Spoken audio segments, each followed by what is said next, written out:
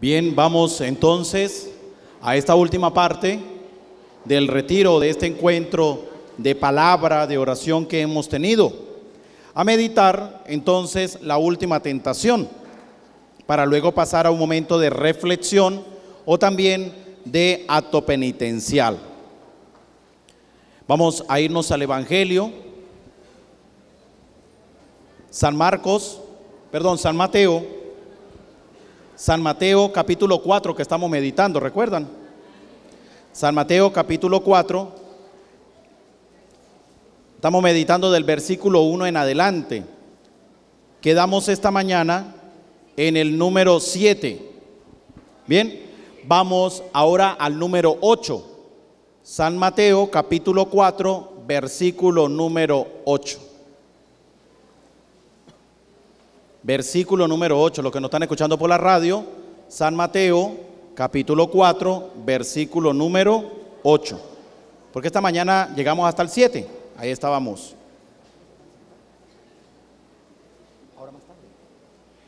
Versículo número 8.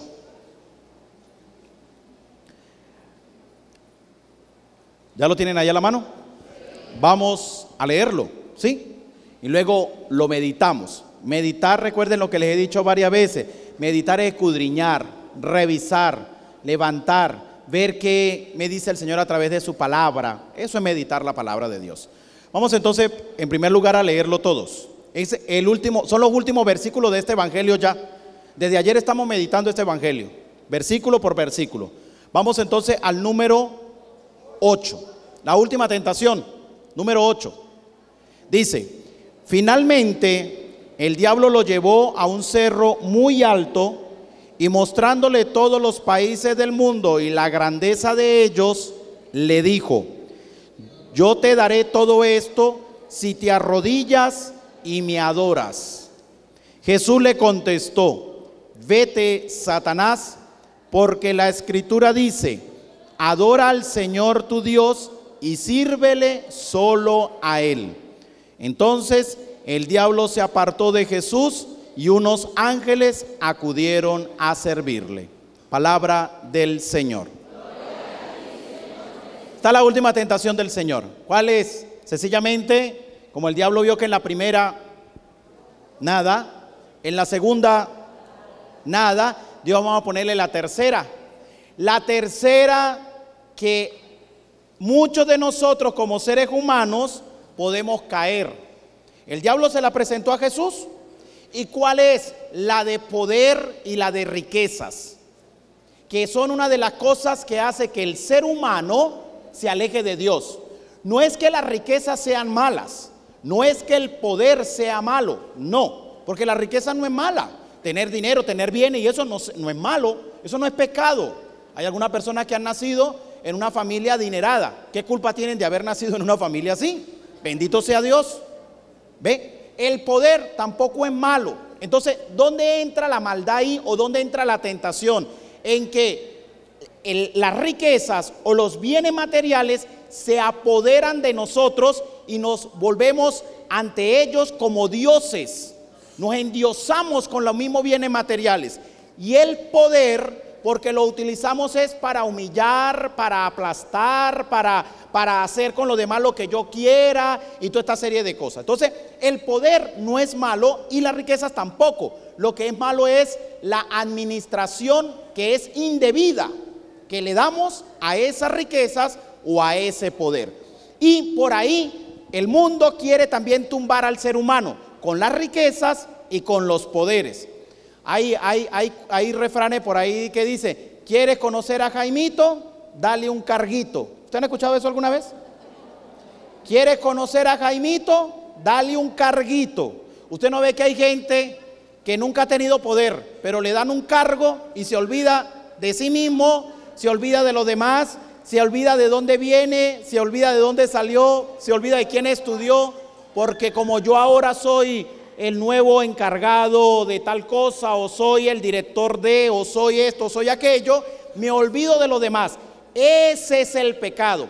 porque el poder que se le concedió es un poder en primer lugar que viene de Dios. No es un poder para poder humillar, es un poder para poder servir. Porque nosotros los cristianos debemos entender que todo poder que viene de Dios no es para humillar a nadie, sino que todo poder que viene de Dios es para servir.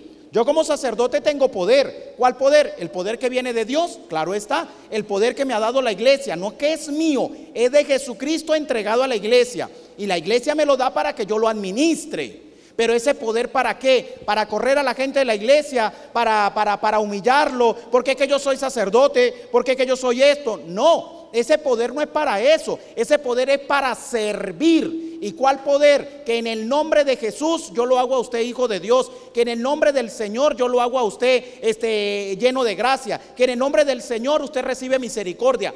Ese, ese, ese poder es para servir.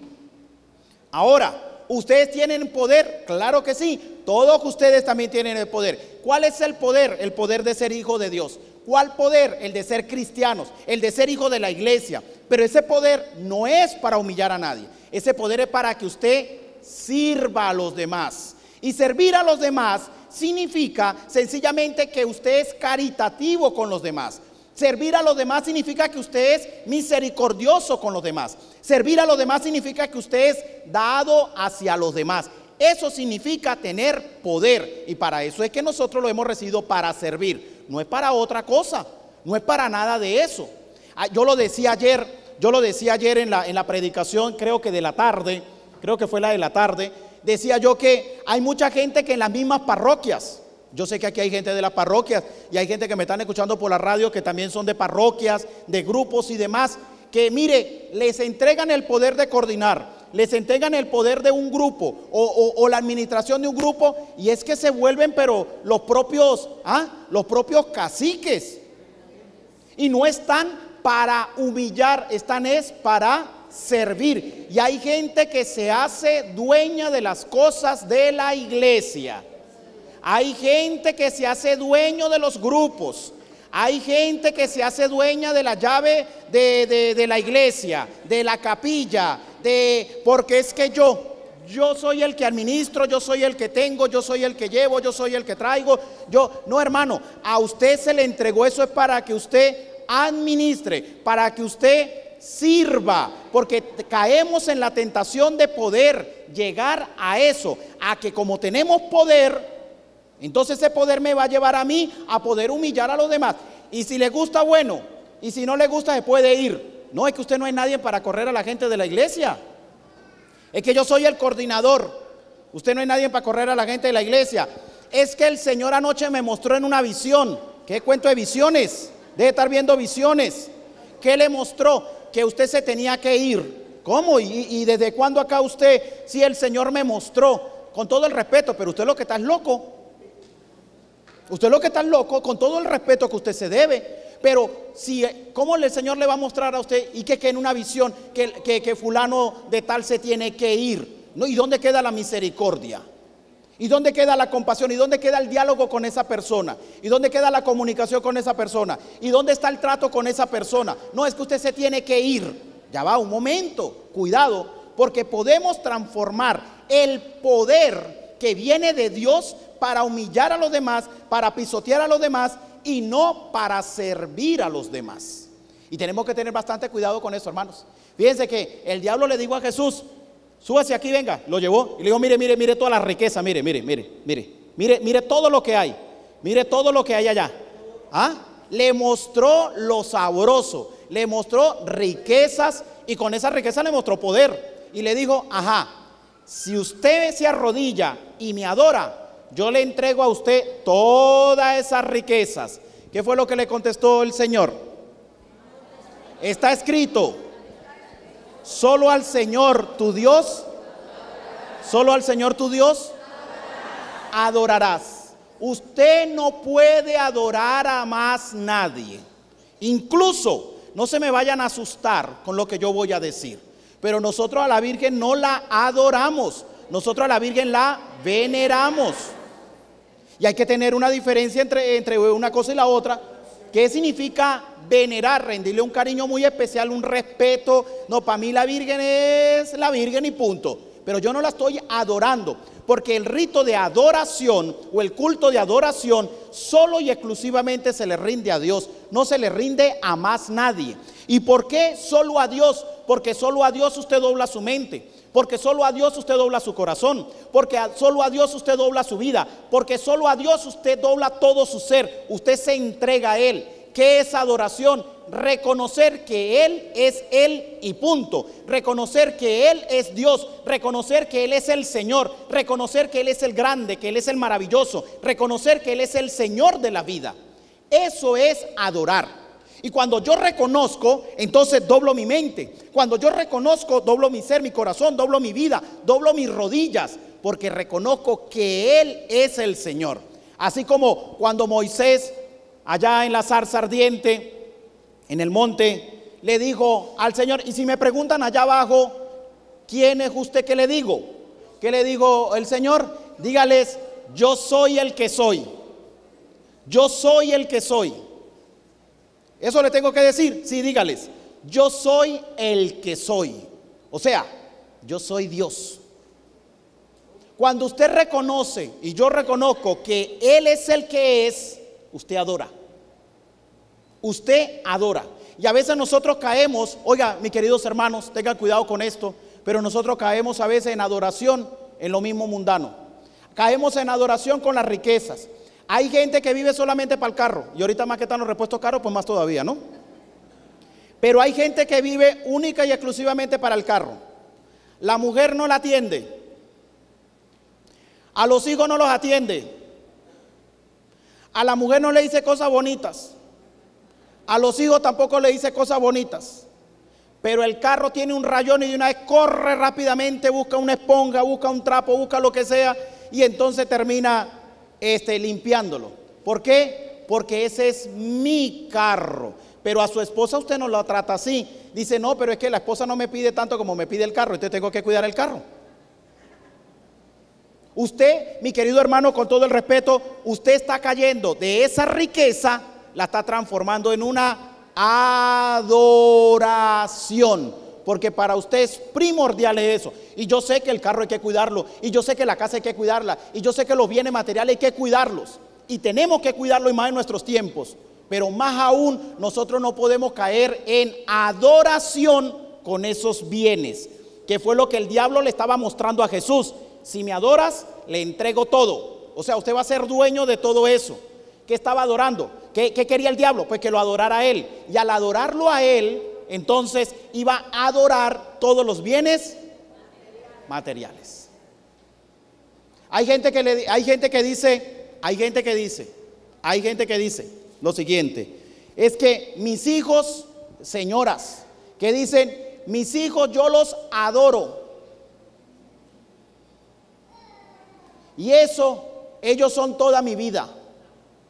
Ellos son todo mi ser. Para empezar, usted ya está cometiendo pecado. ¿Sabe por qué? Porque usted está poniendo por encima suyo a sus hijos. Y no es que sus hijos están mal, no, están bien. Y, hay que quererlos. Pero entonces, ¿dónde está el cariño suyo? Quiero a mis hijos más que a nadie. O sea que usted no se quiere. Porque que yo todo es para mis hijos. Usted está cayendo en pecado. Y hay gente que no cree eso. Hay señoras que andan todas feas Nunca se arreglan. Feas.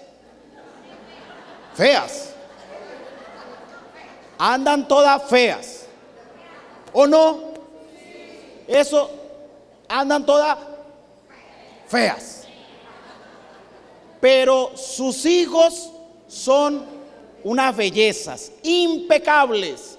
Padre, es que usted sabe que madre es madre. Y yo, yo, yo no estoy diciendo que madre deja de ser madre, la mamá sigue siendo la mamá.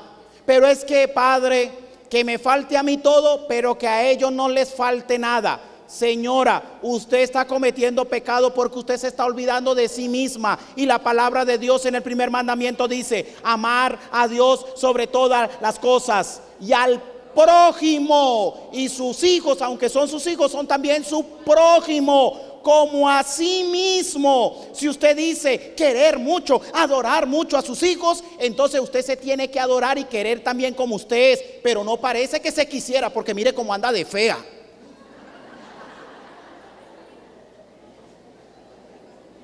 Y disculpe que se lo cante de frente, hermana o hermano, pero, pero es que las cosas son claras. O sea, andamos a veces, escuchen bien esto, hermanos, andamos a veces en la vida confundiendo términos y hay que estar claros en lo que son o lo que nos enseña la palabra. Como le venía diciendo entonces, hay gente que ven un sacerdote y entonces eso es como si vieran, no sé, yo sé que nosotros somos representantes de Dios, somos ministros de Dios, pero usted no pueden caer en la adoración al sacerdote. Es que yo quiero la misa es con el Padre tal. Y le estoy hablando ejemplos concretos. Concretos. Es que si no es la misa con el Padre fulano de tal, yo no voy. Usted está cayendo en la adoración al sacerdote. ¿Quién va a confesar? El padre fulano. No, ese no. ¿Y a quién está esperando usted? A sultano. Con ese sí. Y se le arma la cola de una vez. Porque con ese sí yo quiero. Usted está cayendo es en la adoración. Y nosotros que nos dejamos también adorar. Por eso es que yo, ustedes me van a disculpar, y yo lo he dicho ya, algunos han escuchado en mi predicación o charlas, ya lo han escuchado y, saben que no me da miedo decirlo. Pero yo hay gente que se me acerca y me dice, ay padre, lo felicito, tan bella la charla, la predicación. Ay Dios mío, qué bellezura, bellezura, como decimos aquí en los Andes, qué bellezura. Ay padre, qué lindo, qué hermoso padre. Yo sentí que iba para el cielo, volví y venía. Y Dios mío, padre, venga para tocarlo. No, de lejos. De lejos. Porque así como Jesús tuvo un domingo de ramos, en que todos lo proclamaron grande y maravilloso y rey, también tuvo un Viernes Santo en que lo crucificaron. Entonces, en vez de caer usted en ese error que a veces nosotros caemos constantemente, rece y ore por los sacerdotes, pero no caigamos nosotros en ese error. Porque si no, entonces estamos transformando, oiga, estamos transformando lo que es la iglesia de Jesucristo, la estamos transformando sencillamente en ver adoraciones para mí. No, no, no, no, no, no, no, no, no, no. Y le estamos quitando el puesto a Jesucristo. Y aquí el puesto no es mío ni del sacerdote. Aquí el puesto es de Jesucristo. Que a mí me toca que hacerlo presente, sí. A través de la Eucaristía, sí. A través de los sacramentos, estamos de acuerdo. Pero aquí el puesto no es mío. El puesto es de Jesucristo. Aquí el importante es Jesucristo y su palabra. Aquí no hay más importante. Y si usted no tiene esa visión clara, hermano, con todo el respeto, usted termina cayendo en adoración a los seres humanos.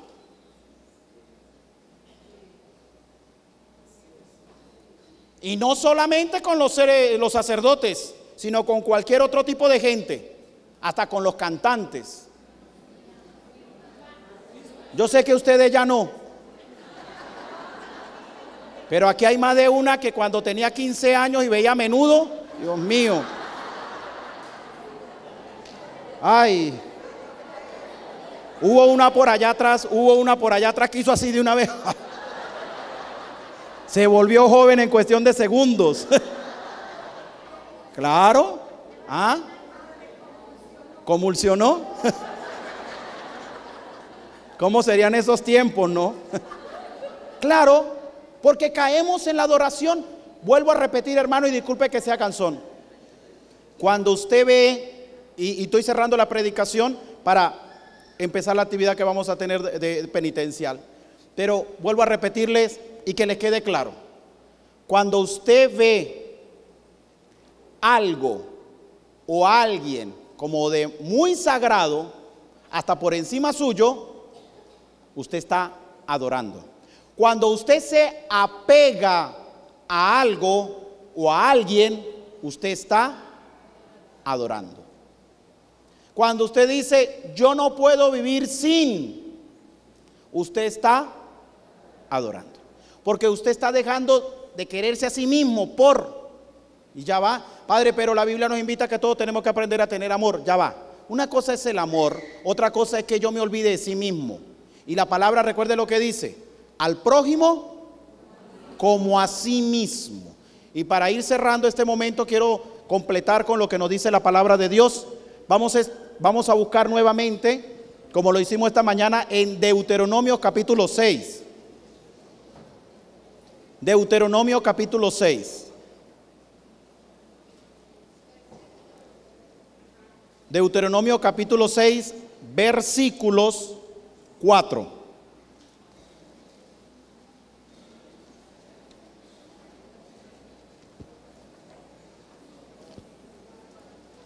Deuteronomio capítulo 6, versículo 4.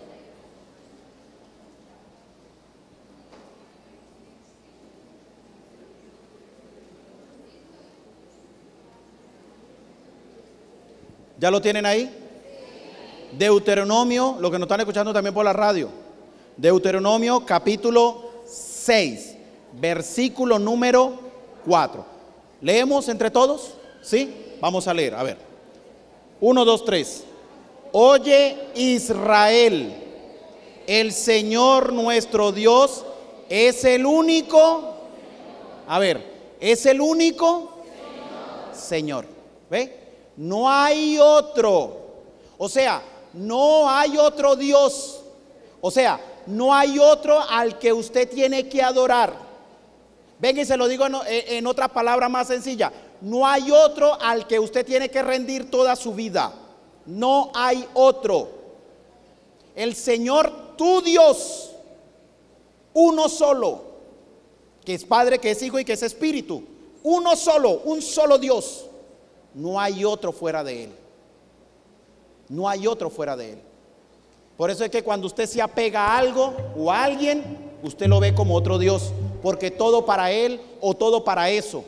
Todo para esa cosa, porque puede ser algo material, o todo para Él. Usted está adorando. Y usted no se puede olvidar de sí mismo. Seguimos leyendo. Versículo número 5. Ama al Señor tu Dios con todo tu corazón con toda tu alma y con todas. Eso es adoración. Hay gente que cree que cuando se postra en el suelo es solamente adoración. Eso es un gesto, pero eso no es solo adoración. Ojo, es un gesto. Como cuando estamos en misa, nos sentamos, nos colocamos de pie, nos damos el abrazo de paz.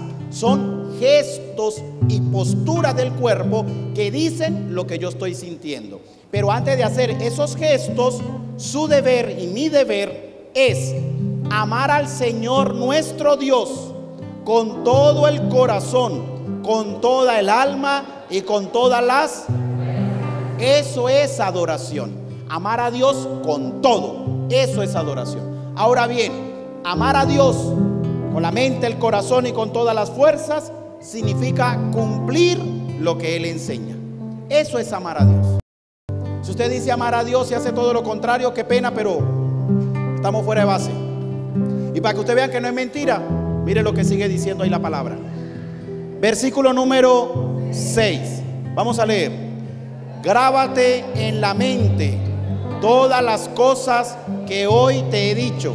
A ver, se lo ha dicho el Señor ayer y hoy. Entonces grábelo en su mente, dice la palabra.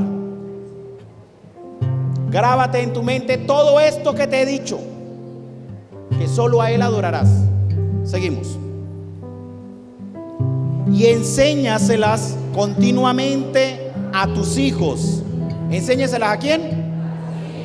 ¿Se acuerdan ayer que hablábamos que la necesidad que hay de hablar de Dios? Enséñenselos. Enséñenle a sus hijos.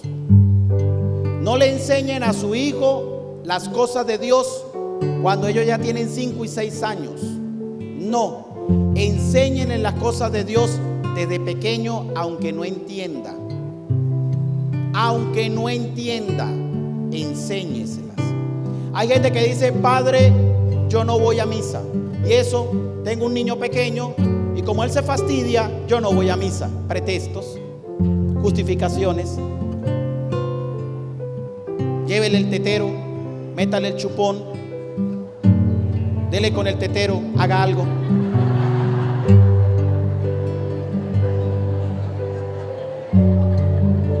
Y verá que se duerme.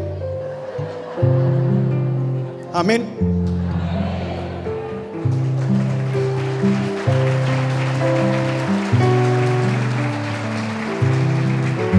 Aunque él no entienda, aunque él no entienda, no importa, enséñenle. Seguimos leyendo. Háblales de ellas, tanto en tu casa. háblale de qué, de qué, de quién, en dónde. A ver, Escuchen esto, hermanos. El primer deber suyo como católico, como cristiano, como evangelizador, como discípulo, es hablar de Dios en su casa. Padre, yo soy abuela. Estoy colocando un ejemplo. Vivo con tres nietos, solamente los tres nietos. Y si yo le hablo de Dios, se ponen bravos y se van. Pues que se pongan bravos. Pero aquí hablamos de Dios. Aquí hablamos de Dios. ¿Sabe qué es lo que pasa, mis queridos hermanos? Que en nuestras casas nosotros hemos perdido algo que se llama autoridad. Y la autoridad no es dar una pela. Autoridad no es dar con el chuco. Eso no es autoridad. Autoridad no es arrodíllese ahí una hora. Eso es meter miedo. Autoridad es dar testimonio de lo que yo creo, sin vacilar. Yo creo en las cosas de Dios y vamos a hablar de las cosas de Dios. Eso es autoridad. El que tiene autoridad no vacila. El que tiene autoridad no duda. El que tiene autoridad tiene firmeza, porque esa autoridad le viene del mismo Dios. Usted tiene que tener autoridad para hablar en su casa. Usted tiene que tener autoridad, señora, para hablarle a su esposo de Dios. Padre, si yo le hablo a él, se va. No, eso no se va. Tranquilo que esa no se va. No se va. Si usted dice que él se va, él se va. Pero, ay, entonces hablemosle rápido. No, mentira, tampoco. Este, pero usted tiene que hablarle a su marido de Dios. Esposo, usted tiene que hablarle a su esposa de Dios. Esposos, Ustedes tienen que hablarse mutuamente entre ustedes. Señor con señora, señora con señor, de Dios. Ustedes tienen que hablar de Dios, lo dice la palabra de hoy. Y enséñenlos en sus casas. Enséñenles en sus casas. Como hoy en día muchas mamás van para misa y le dicen al hijo, ¿usted quiere ir a misa? No quiero. Ah, bueno, se porta bien, ya yo vengo. Así cualquiera. ¿Ah? Así cualquiera. ¿Cómo es eso de que, o es que usted le dice a su hijo, ¿quiere ir a la escuela hoy o no? Con seis años, siete años. ¿Quiere ir a la escuela? Pregúntele para que vea que lo más seguro es que le dice. Usted no le pregunta que si quiere o no quiere ir a la escuela. Usted lo manda a la escuela. Usted no le pregunta a su hijo de cinco o seis años si quiere estudiar. Usted lo manda a estudiar. Por tanto, con las cosas de Dios, con la palabra, usted no le puede preguntar que si quiere, usted le tiene que enseñar. Porque usted es el maestro de la palabra. Señor, señora, usted tiene que ser maestros de la palabra. Maestros de la palabra. Pero que ellos vean eso, el testimonio, que eso se llama autoridad. Seguimos leyendo. Dice también la palabra de Dios, háblele de ellas tanto en tu casa como en el camino cuando te acuestes y cuando te cuando te acuestes y cuando te levantes. Punto. ¿Qué está queriendo decir aquí la palabra? Todo el día. Dios en su mente y en su corazón. Todo el día. Todo el día. Y todo el día significa, no es que usted va a estar para parado en una esquina y habla de Dios y luego se para otra esquina y habla de Dios. No tanto eso. Si lo puede hacer, pues bueno. Pero ahí sobre todo lo que dice la palabra es todo el día en la presencia de Dios. Lo que yo decía esta mañana, que usted sienta que Dios está con usted, que Dios lo acompaña y que no se me olvide de que Él está conmigo. de la mañana hasta la tarde. Yo siento su presencia. Seguimos. Lleva estos mandamientos, todo lo que hemos visto, lo que hemos escuchado. Lleva estos mandamientos atados en tu mano y en tu frente como señales. Y escríbelos también en los postes y en las puertas de tu casa y donde usted pueda. O sea, en todo momento seamos portadores de las enseñanzas de Dios. Seamos portadores.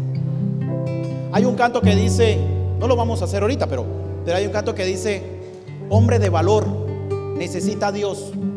¿Ustedes lo han escuchado? ¿Sí? Y si no, pues bueno, algún día lo escucharán.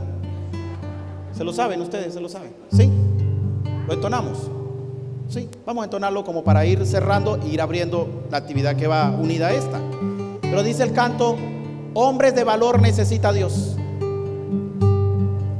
El Señor y la iglesia necesita mujeres de valor. Necesita hombres de valor. Necesita jóvenes de valor. ¿Y de valor de qué? Que hablen con autoridad sobre las cosas de Dios. Necesitan de valor. Dios necesita hombres y mujeres jóvenes, adolescentes, que tengan, ustedes lo dijeron, para llevar el mensaje. Que no le dé pena, que no le dé miedo, que no le dé tristeza. Al contrario, son libres en el nombre del Señor para hablar de su palabra. Eso es lo que la iglesia necesita. Y por eso es que el Papa está diciendo cada rato, salgan, vayan, vayan, vayan. El Papa, eso nos lo está recordando cada rato. ¿Y qué nos está pidiendo el Papa? Que vayamos sobre todo a los lugares más alejados, a las barriadas, a las invasiones, a, esos sectores donde la gente dice, no, allá no, allá huele a feo, allá es donde hay que meterse, allá es donde hay que ir, porque nos gusta ir, es donde huele a bueno, donde no haya mucho que hacer, donde huela puro perfume y donde haya bastante plata. Para allá sí voy. Pero hay que ir en esos sectores donde las casas están cayendo, donde si comen una sola vez es mucho, donde huele a feo, donde la gente necesita. Allá hay que ir, porque esa gente necesita de Dios. Los otros también, pero en primer lugar, estos. Así que no le dé miedo, hermanos. No le dé miedo. No le dé miedo. Al contrario, en el nombre del Señor.